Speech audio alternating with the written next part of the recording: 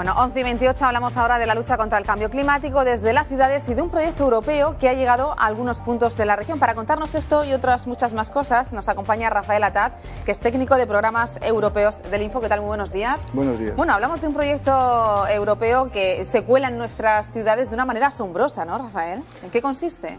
E-, es importante la vinculación y la curiosidad que tienen los ayuntamientos y, y los trabajos que están desarrollando para eh, seguir el patrón europeo y ya cada, vez más mundial de conformar sus líneas estratégicas, sus políticas eh, locales en algo sostenible para los ciudadanos, no solamente para los que ahora habitamos las ciudades, sino para los futuros.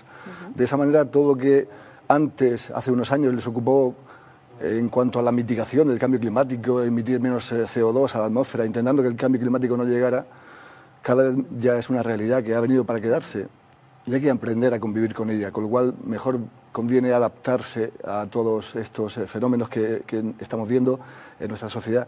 Y esa es la, función de programas europeos y concretamente proyectos que desde la región de Murcia, que es coordinador regional del Pacto de los Alcaldes por la Energía y el Clima, intentamos estimular y persuadir a los municipios para que hagan cada vez políticas y actuaciones más sostenibles con relación al medio ambiente y al, el uso de energías. Cartagena y Águila está sumado a este proyecto. ¿De qué manera se hace? O sea, ¿cómo una ciudad puede sumarse a este proyecto europeo? ¿Como algún punto de la región? No sé. Cartagena, Águilas y Lorca son los tres municipios que están con el Instituto de Fomento, eh, la consultora Eurovértice y la Dirección General de, Conservación de la Naturaleza de nuestra consejería. Eh, básicamente se trataba de eh, señalizar e identificar tres municipios que tienen una particularidad en nuestro entorno regional.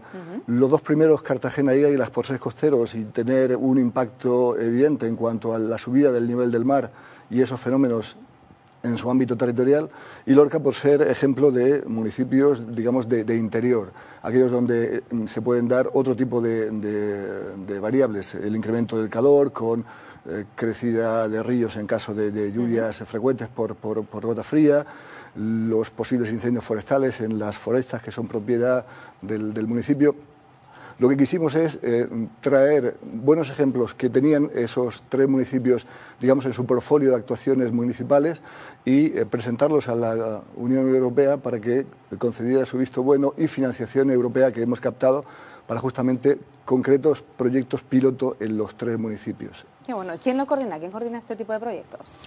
Como eh, coordinador regional del Pacto de los Alcaldes, la Agencia de Desarrollo, el Instituto de Fomento, en el año 2015 preparó un proyecto y buscó a estos tres municipios que eran en ese momento eh, uno de los que más activos estaban en la mitigación contra el cambio climático.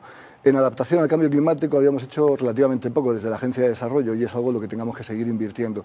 Y rápidamente, con la ayuda de la empresa Eurovértice y con los compañeros de la edición general competente en cambio climático, seleccionamos estos tres municipios. Fuimos a la búsqueda de ellos, preparamos una, con ellos un, un, portfolio de actuaciones y fueron los que presentamos a Bruselas con, con esta aprobación. Esto es un proyecto, Rafael, pero ¿luego qué? ¿Después qué? Luego lo que queda es que esto no sea papel mojado, de hecho esto es una forma concreta de desarrollar actuaciones que de otra manera estaban puestas en su plan de actuación energética sostenible. Ese documento programático que de alguna manera es la hoja de ruta del municipio, de cualquiera de los tres municipios asociados, para realizar actuaciones que traten de mitigar o bien traten de adaptar la situación municipal y la vida de los ciudadanos a esos impactos del cambio climático. Lo hemos hecho con nuestros tres municipios regionales, dos municipios de Portugal y un municipio de Letonia, como para intentar eh, buscar en otras demarcaciones geográficas, en otros territorios, cómo similares actuaciones de impacto son provechosas también para los municipios y sus ciudadanos. Hablamos de este proyecto que tiene mucho que ver con el cambio climático, pero también uno mm, destinado a la salud, ¿no? a la salud de los ciudadanos. ¿no? ¿En qué consiste este proyecto? Sí, el proyecto In Demand eh, ha lanzado eh, el 23 de enero su segunda convocatoria de retos. Indemand es un nuevo modelo de innovación en el que eh, los profesionales del sector de la salud, aquellos que están tratando contigo y conmigo en nuestras consultas, en nuestros, eh, nuestras eh, dependencias, en nuestros hospitales, en nuestros quirófanos, son aquellos que mejor conocen cuál es la realidad palpitante de los servicios sanitarios, en qué cosas podemos mejorar y cómo las tecnologías de la información y la comunicación pueden mejorar en este desempeño cada vez más cercano al ciudadano y más efectivo las políticas sanitarias. A partir de ahí lo que se hace es poner en valor ese conocimiento que tienen los profesionales sanitarios y que ha sido identificado en una serie de prioridades, hasta 40 prioridades eh, tuvimos con los profesionales del Servicio Emocional de Salud y tras una serie de cribas hemos hecho un, digamos, un elenco de cuatro retos que van a ser los que lanzamos al mercado en esta segunda convocatoria. Ya cuatro retos fueron lanzados en la primera convocatoria hace ahora un año y de eso en tu antena tuvimos oportunidad de comentar. Ahora lanzamos los segundos retos. ¿Cuáles son? Son, eh, van desde la evaluación de, pacientes crónicos a la instauración de herramientas TIC que puedan ayudar a la mujer eh, gestante en los primeros seis meses de, concepción para ver cómo es el progreso y cómo los propios eh, profesionales sanitarios pueden hacer un seguimiento remoto, no necesariamente presencial, igualmente cómo son los, eh, la necesidad de tratamiento o, de práctica deportiva para concretos pacientes que están eh, necesitados de ese, de ese y cómo hay herramientas de, información y comunicación, iPad, programas que pueden ayudarnos a, mejorar esa, esa.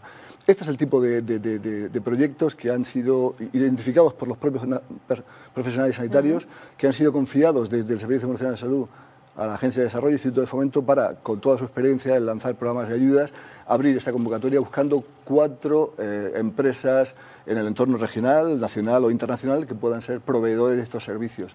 No se trata de comprar suturas quirúrgicas o, vendas, se trata de hacer Buscar tecnología, ¿no? Efectivamente, tecnología que pueda estar al servicio de una mayor calidad de vida y una mayor calidad de trato asistencial por parte de los ¿La convocatoria está abierta todavía?